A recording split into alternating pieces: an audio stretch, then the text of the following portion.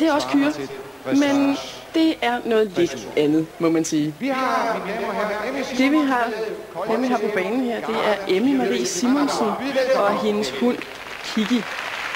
Kiri, undskyld. Er heller ikke ment.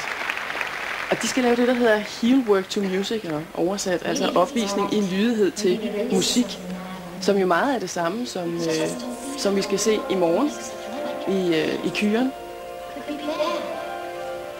Det er det. Det er lydighed og præcision. Det er med en hund i stedet for med en hest. Og vi kan se, hvordan Kiri den er meget, hele tiden har øjenkontakt med sin fører, Emmy Marie. Det er faktisk øh, det er noget forholdsvis nyt i Danmark, det her heel work. Øh, det er, øh, det er noget, der stammer fra England, hvor øh, at den verdenskendte lydighedstræner Mary Ray har afholdt et lydighedskursus, og så som en del af, af det her kursus, der havde hun så demonstreret noget linjeføring, mens radioen spillede i baggrunden. Og alle troede, at, at de bevidst gik til musikken. Det gjorde hun altså ikke, men øh, så var der lige en idé til en ny disciplin. Og må ikke, der er nogen, der kan begynde at øve sig derhjemme. Jo, det her er en collie, Theo. Den hedder altså, bliver kaldt Kiri, men har det fornemme navn af Garda Kiri til Kanawa. Nok rimelig langt og stor ro efter den øh, på tur. Syv år gammel er hun og har trænet, lyde, trænet lydighed, så hun er 12 år gammel. Men det er som sagt ikke øh, så stort herhjemme endnu. Det er det ikke. Det har... Øh,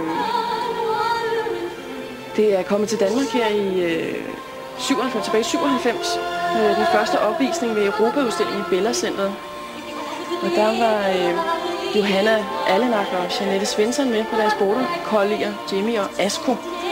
Og så kom der så i foråret 98 endnu en ja, ekvipage, kan man godt kalde det, for at blive lidt i hestesproget. Kom de på banen, og det var så Emmy M. Simonsen med Kiri. Og de fik deres øh, debut ved Dansk Collie Klubs 50 års jubilæum. Men det, den taber overhovedet ikke kontakten Det gør den ikke, nej.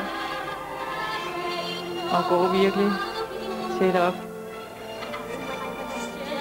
af sin fører. Det er en hund, som øh, er blevet øh, landsvinder i dressur.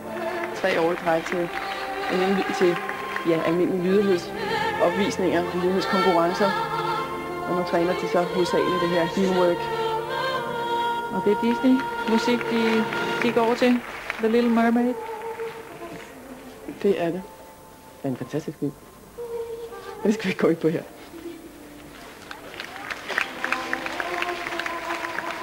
Emma Marie Simonsen har tidligere haft en cheferhund, men har altså nu Colin Kæge og så fire andre border collier, og har arbejdet med Hework siden 98 en god god bid, den vel?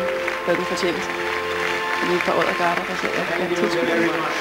Ja, det var flot. Der var ikke meget slinger i valsen. Det var der ikke. Virkelig hele tiden opmærksom og leve. Og den ser jo glad ud, Det gør den. når den laver arbejdet. Man lader sig bestemt heller ikke gå på af menneskemasserne. Det må jo egentlig være, det må være svært at have sådan en hund med i så stort et rum. Og, Man kunne jo godt forvente, at de måske tabte koncentrationen. Ja. Vi skal have en springning med nogle af de det vi skal have nu, det er noget, øh, det er noget springning.